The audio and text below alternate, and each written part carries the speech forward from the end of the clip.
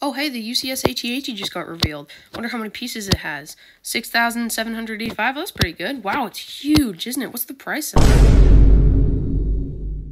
Uh, what? What? What?